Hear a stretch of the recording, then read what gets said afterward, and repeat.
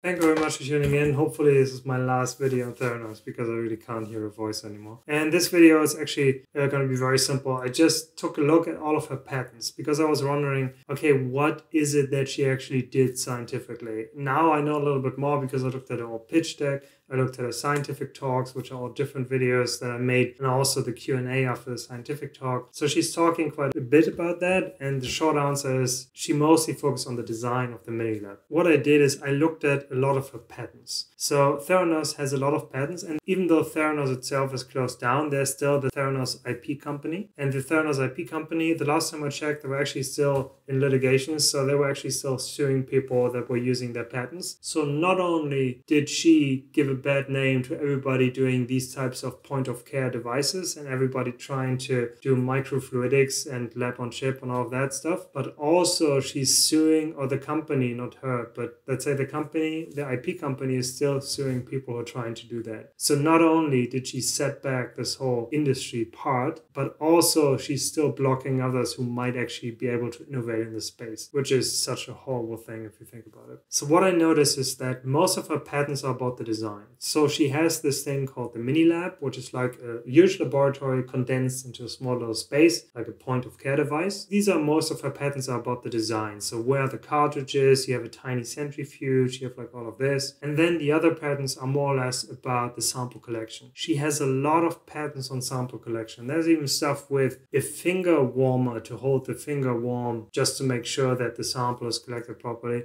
And only a tiny little fraction of all of her patents are actually about biological assays or anything that's actually used for testing. She has one patent on vitamin D measurement in blood, which is super simple. You can order on Amazon a vitamin D test and you can measure it in the blood. So there's nothing really unique about that. And detectors. So this is part of the design. A lot of detector stuff where, oh, this detector is what we're going to use, and we have a small detector and stuff like that. They patented a lot of stuff around the science because they didn't have the science. They, as far as I know, they never published peer review. So they never published the actual research results of a measuring mechanism or the actual research result of having a marker and they measure it in the mini lab. And so they, they don't have that. So without the science, I really focus just on the design. I have to say, I'm going to keep this video very, very short. I'm just going to blend in quite a few images and just say that most of the things she did were really just about the design, which is the Steve Jobs thing. Steve Jobs gave talks talks just about the design of things because he could do it because his product was all about the user interface and how the user interfaces with the iPhone, with the iPad, and all of that. But it doesn't make any sense for a point of care device that is heavily reliant on the science behind what it measures, the accuracy of what it measures. So Steve Jobs never had to talk about the accuracy of hitting a button. He talks about how well it is used and how easy things are, and you can just drag and drop, use two fingers to make the map small and big. So all of that makes sense for technology like that, which is end to consumer, but something like a very scientific device doesn't make any sense. So, I mean, look at this patent. This looks completely ridiculous. It looks like a dog. I mean, it is a dog and it's like a finger warmer